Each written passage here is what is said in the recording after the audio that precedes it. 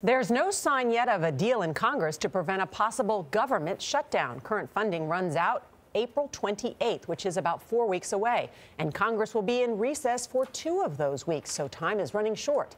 Only on CBS This Morning, we asked House Speaker Paul Ryan how he's working to avoid another legislative setback. The government will shut down on April 29th unless you pass a funding bill. Will it defund Planned Parenthood?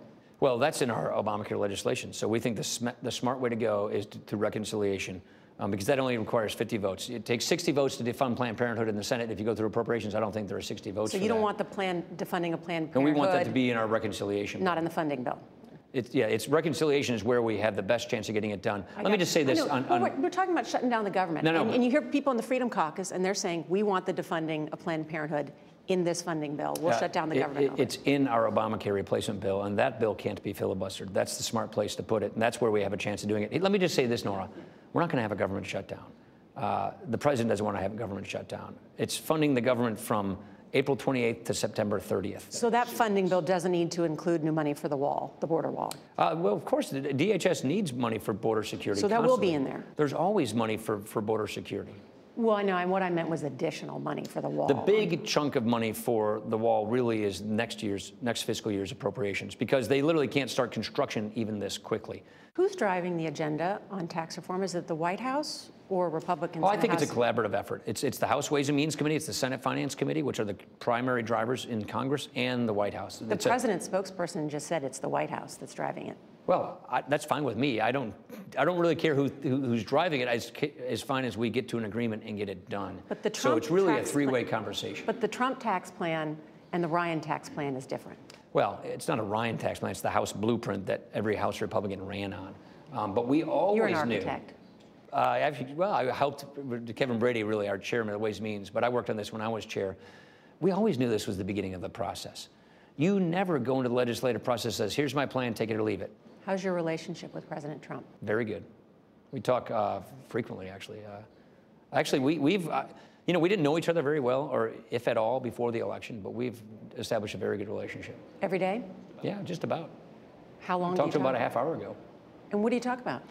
Just the policies of the day. Uh, we're talking about healthcare these days, talk about tax reform, um, a lot of things.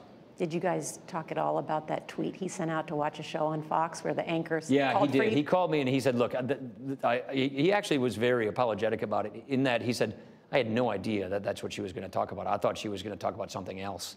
Uh, so really, that, that was completely coincidental. And I know, and I believe he, he was right when he says that.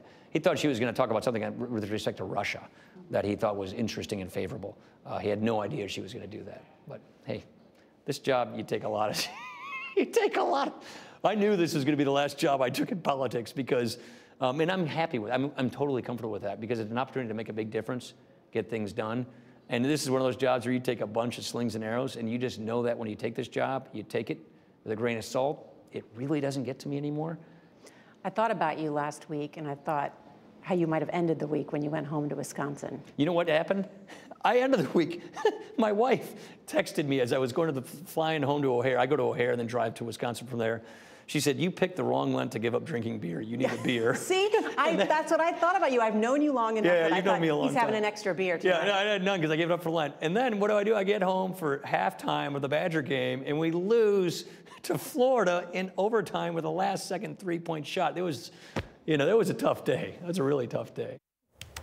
You can see he has uh, a good attitude about humor it. Humor is still very much intact. Yeah, yeah. he wants to get stuff done, and um, it's interesting to hear about his relationship with President Trump. They're talking on the phone a lot. They want to get this done. And you remember that when they first talked about making him Speaker of the House, he was somewhat resistant. He didn't want it. Yes, yes, he was. That's exactly right. He Charlie. talked about his family life. Do you believe him as someone who's known him a long time when he says he's okay with the slings and arrows? He knows it comes with the territory. I do. I, yeah. do I think you I have do. to have a tough skin yeah. in politics. Yeah, and I think he knows too, having served in Congress for a while, not only as a congressman but a staffer before that, that legislating takes time. Mm -hmm. You know, it takes a time, and so, but they've got a tight timeline. They want to get a lot done by August. Obamacare, which is back on the table, and tax reform. Right. Based on what the president watching. says, also, there's reason to believe that there is much more communication. Yeah, yeah. he said, don't let uh, perfect be the enemy of good. Yeah. They want to get stuff done. I like that.